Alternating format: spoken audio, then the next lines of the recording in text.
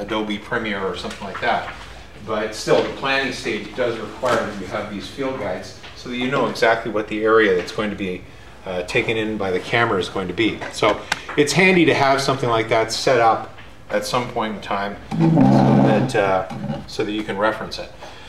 Okay, so what we're going to do today, I don't know if you guys watched the video from last week on YouTube, but I completed the animation for both classes where I, in this class I did the, the Daffy Duck, so I cleaned it up and then shot as a pencil test so you could see it. So I'll, I'll just show you the cleaned up animation here. So here are all my drawings. And bouncing up and down. So this is all based exactly on the stuff that I had done in last week's class with our double ball bounce and then adding on that third ball bounce with the hook on the nose. So what we're going to do today is we're going to introduce uh, an overlapping action. Uh, we're to, you're going to do a tail. I'm going to do the character's arms on this, the wings, as he flops up and down. But you'll basically do the exact same thing that I'm doing with your double ball. So hopefully you brought your drawings with you and uh, you can follow along with me.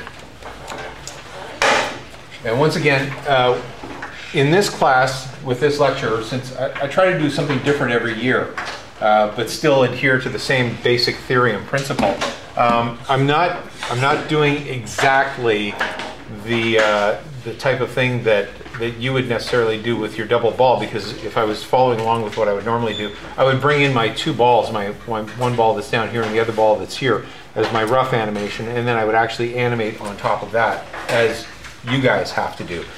But if you want to see that component, that lecture for specifically what it is that you have in your hands with the two balls and adding on the tail, just pop onto YouTube and look for the double ball bounce or go into my website under the, uh, the um, index section and just look for the double ball bounce with a tail. Yep. Well, you're going to have to run fast because I'm starting. Okay, yeah. Is there a way to reduce the brightness? Is it hard to see? Is there a way to what? To reduce the brightness because it's a bit hard to see what's Yeah, I tried that. I tried turning off the light over there, but then it's too dark. Like the, the light doesn't show up enough to make the image show up. So we're gonna have to stick with what you got. I mean, you could move up a little bit closer because I don't know. Can everybody see okay, half decently okay? What's going on on screen? Everybody's all right? Sort of. You can come close. Can you guys in the front see okay? Sort of. Not really. Well, let me try it with the light out and see if anybody's happy with that. Because it may it may end up being too dark to see it. Is that better? Yeah? Okay, all right. And what I'll do is when I transfer it over to the video, I'll just pump up the brightness on it. Okay.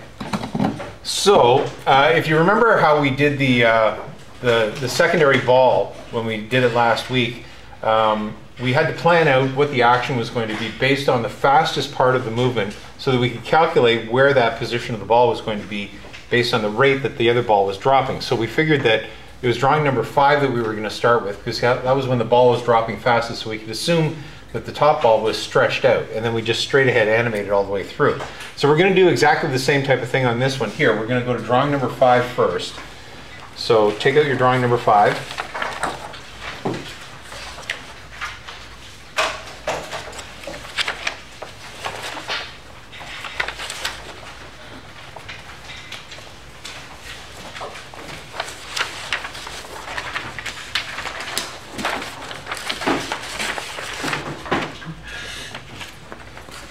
There's my number five.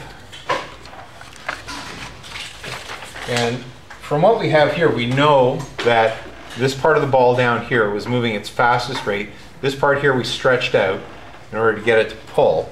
And uh, when we added on the extra ball on top here, we stretched it out even further and had the line coming down. So what I'm going to do on this one, and you can do the same basic thing, is I'm going to add the arms onto the character, or his wings. So in this case here, I'm attaching them to the second ball. If you want to attach them to your second ball, you can. If you want to, you can make it the tail down here and attach it to the first ball. Completely up to you as to where you want to put it. But basically you want to draw a line that looks like this. So we're actually connecting it to one of the balls and then we're just looping it and pulling it so it's dragging straight up like this. Okay, maximum pull, everything's being pulled down, so therefore the tail, or in this case, my arm, is just going to be dragging straight above. Now, I'm going to do this at the same time. I'm going to put the other arm on here. So if you want to put two lines on there, you can. So I'd put my other arm in behind here and stretching up like that. It would go in behind his head and possibly the tip would be sticking out. Now I'm just going to draw a single line for this all the way through, which is what you guys will be doing as well for yours, but then you can modify it and change it into whatever you want. So if you want to turn it into a tail, you can just add more volume onto it. So rather than having just a single line that looks like this, if you want to, you can add a volume, so it turns into like a rat tail like this over on this. You see that okay?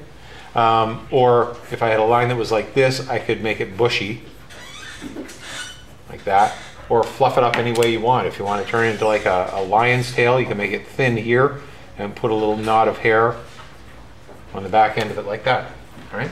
Completely up to you as to how you want to uh, approach this. But basically, we're just looking for that primary line of action that's running through the part that's being pulled on the, on the character.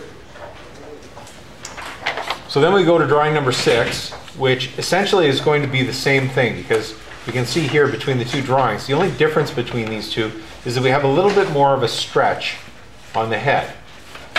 And I have, I have expanded the character's head out a little bit.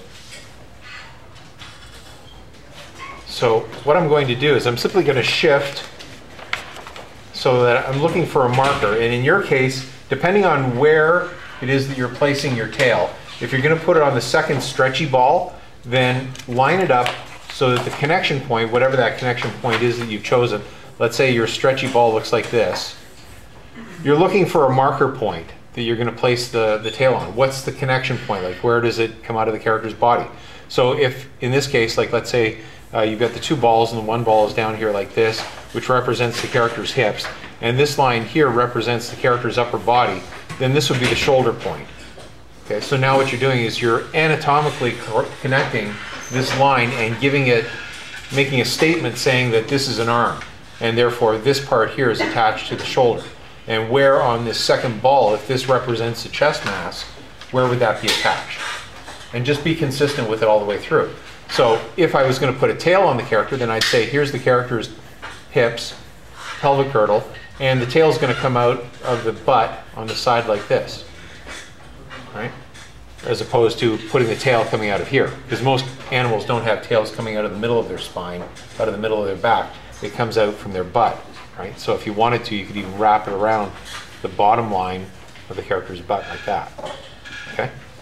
So you choose the anchor point and actually assign it as to what it is, and then just be consistent with it. So when I place this over top of here, what I'm looking for is I'm looking for a landmark on the character that I can use to say, here's something consistent. So as you can see with Daffy Duck, he's got that ring around his neck. So I'm going to use that as my marker. I'm going to place this point over top of that, and then attach the shoulder to that same point there. And keep the line moving in the exact same way. I might put a little bit of a stretch on it, because again, between these two, you can see that if I line up the butt, how much his head is stretching up there to create more of a pull. So if I'm going to pull one part of the body, I really should pull another part of the body that's dragging at the same time. Right? Here's where we get into logistical, you know, physics of the character and basically, you're making up the rules as you go along. You're saying, how stretchy is this character? Okay. Can my character stretch more than this? Possibly, if I wanted him to. But would, be, would it be appropriate for the action that's taking place is the other question that I then have to ask. Is it pushing it too far? Is it making it too cartoony? Does it stretch the limits of believability for this character? Does it follow through with the timing that's taking place in this action? Right? These are all things that you have to sort of consider as you're moving through your drawings. And this is back to that basic uh, principle that I've always been touting, is that you got to be thinking about what you're doing as you're drawing. If you're not thinking, then you're just mindlessly doodling and you're making it up without any rules or regulations to it or cause and effect, then chances are the outcome of what you're trying to do may not be as effective as what you want it to be. So now in this drawing here, you can see that the difference between these two is that my chest is coming down and forward. See how the the path of action on the head is curving a little bit here. So what's happening is there's a little bit of a compression between the chest and the head, but there's also an arcing movement on the forward part of the chest. So there's a pivot point here where the spine is now bending over this way because the impact is hit down and therefore the head is starting to fall forward. So therefore, I want to make sure that that connection point with the shoulders is the same and it's still following through with the path of action with the understanding that if the shoulders start to pull forward like that, that I've got to follow through with it. But the length of the arm is such that it's basically going to blend in with the previous line that I've drawn. So here's where we're getting into that theory of the gymnast with the ribbon on the end of the pole. Wherever that tip of the pole goes, whatever path of action it creates, whatever figure it creates, so if I do a figure eight like this, the ribbon has to follow that exact same figure eight pattern. It can't deviate off of it. Okay, if it does, then it starts to look like it's got a mind of its own. And that's not something that we necessarily want to have happen. Because this is just dragging. So we want to follow through that line there with the arm coming down like this. And then we move on to drawing. In my case, I've got the 7A drawing, which is the favor right after the compression. You may or may not have put this drawing in. So if you haven't put it in, then don't worry about it. If you have put it in, then you have to consider what you're going to do with it. So in this case here, you'll remember that there's the compression of your main ball. And this part here is still stretching, but it's sort of impacted on. Remember we did that little saucer thing where it had the suction cup on top of it, but this part here was still stretching up. Now in this one, we have the reversal where the bottom ball is going up. So now I've taken the upper part of his body and compressed it down and I'm dragging the top part of his head down as well. So because of that, his shoulder has now moved into this position here and it's basically locked out now. See how it's stopped at that point? Okay, and that's okay, you can do that, but then you have to consider what's the rest of his arm going to be doing. So as the arm comes down like this, what I want it to do is I want it to continue down as his shoulder stops and begins to go back up again so that I overlap and pivot it like this. Right? So what I'm doing is I'm taking the shoulder point here and freezing it, but continuing the downward action of the arms, but bending it severely. So basically I'm following my path of action that was coming down like this, but I'm going to pull it out like this.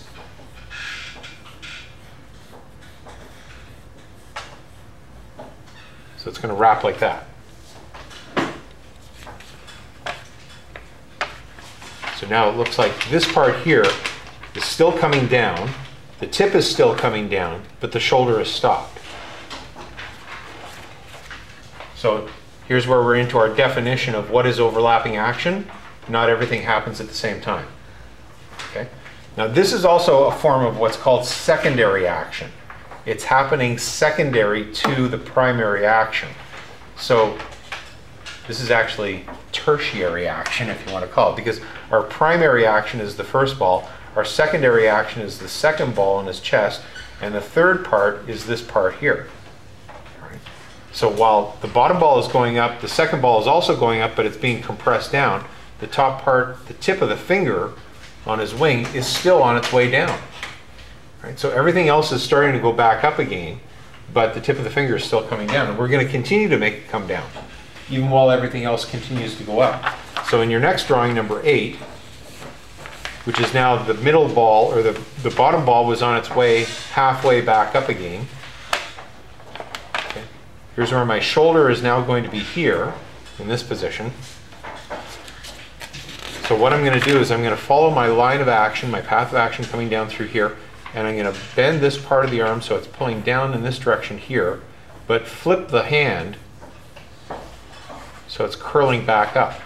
So this part here, the tip of the finger, is still on its way down, while this part, the shoulder, and here, is on its way back up again. So it gets a curling action like this.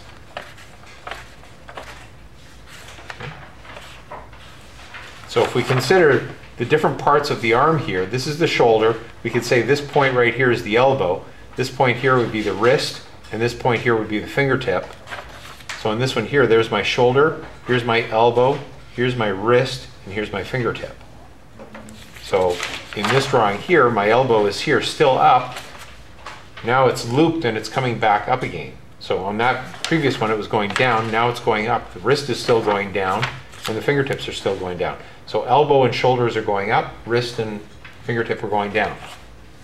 So again, the overlapping action element to it. Now when I go to my number nine drawing, Everything's going up, including the head now. Head's going up.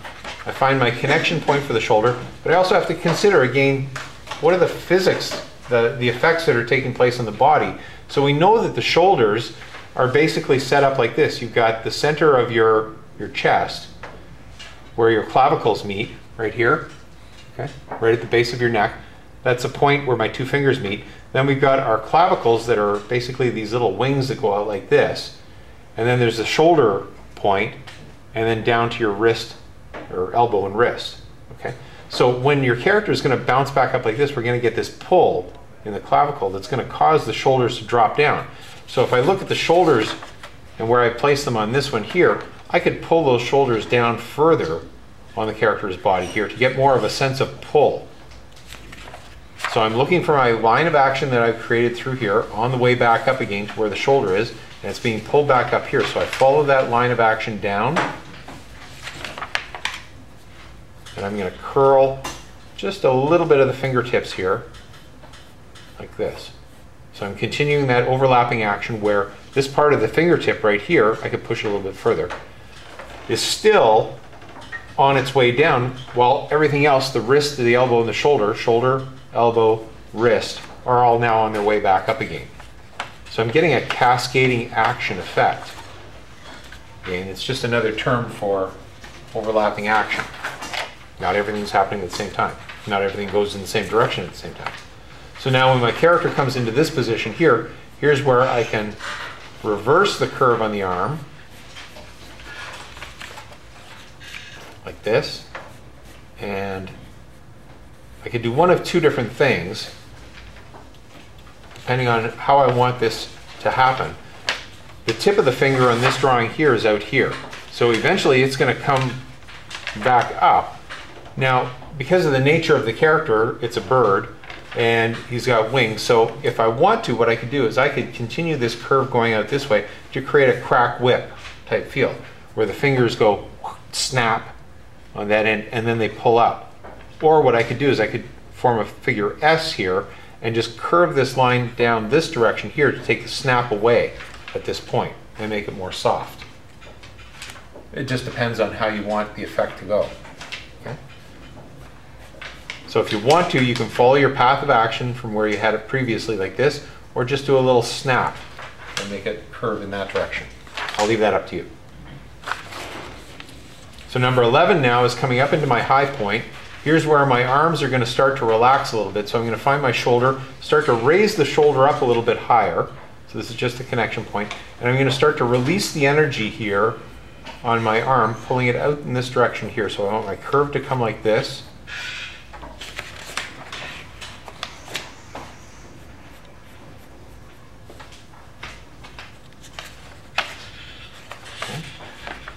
Pulling it up. And then I go to number one, which is now my high point, my key drawing for the bottom ball. So again, I'm going to take my shoulder, and I actually drew a little oval there from the original drawing to figure out where it was going to be. So I'm going to continue to release the energy now on the arm here and start to bowl the arm out. And I don't know if you're noticing, but it's very similar to what I did with the neck and the third ball of the head here. The actions are pretty much the same. See how there's the drag there, the drag being pulled down This one here, how it comes down like this, and there's that curvature that's going here, which is the same as the curvature that's going there, just in the opposite direction. Back up on this one, see the curvature here, and the curvature here. See the same, same lines of action running through it. So what I did with this one here, I'm doing basically the same thing on the opposite side. It's just I have to change it ever so slightly to reflect what that part of the body is. Because the head is not necessarily going to act the same way as the arms and fingers are. So, so I'm starting to release that energy, pull the arm out like this. And then go to my number two drawing where once again, everything's starting to come down except for the shoulder. Remember I locked the shoulder out here. And in your case, you may have put the pin in the top of that second ball and made it hold at that position. So this part here has locked out on me, but I'm going to start to open it even more out here.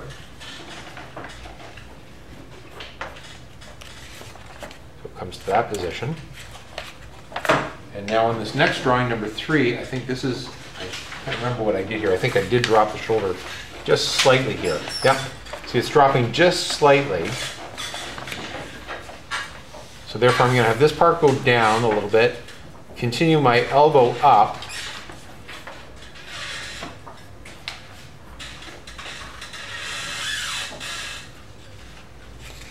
So it's got this type of an action here. So if I take and do a stack roll where I put each drawing in between each of my fingers here, I can see the sequence of events on those last five drawings to see whether or not it's doing what I want it to do.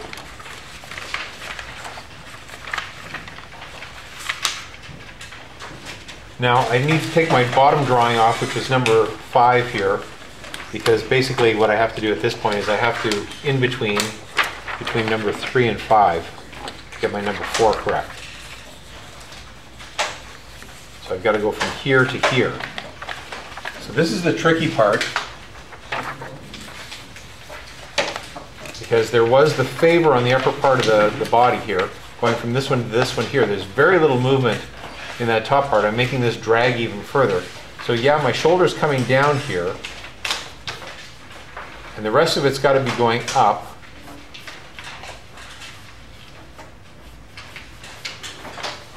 I'm just going to repeat what I did on the opposite side where I'm going to take, take the fingertip and keep it going down, but get everything else in this drawing here going down now. And that should then link into this one here. Comes like that. Now I do have to make a little modification to my number five drawing in order to make it blend in. So I'm just going to take number three, put four over top so they're going in sequence. Put number five down, and just when I roll flip it, like this, you'll see how it snaps just a little bit too hard there. And this part here reverses a little bit, which is okay. There's nothing wrong with that part of it. I think what I would want to do is I just want to take this line here and maybe just pull it inward and then reverse the curve on it so it's doing this instead. So it, it'll blend in nicer with the previous drawing. So that feels a little bit nicer there, having it curve down that way. And then when I go to my number six drawing here, that's when it begins to straighten out. So I'm okay with that. So let's take it all off the pegs now and do my stack flip here.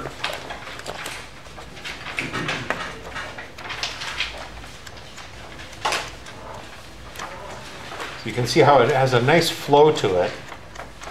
Almost looks like he's flapping his wings to a certain extent.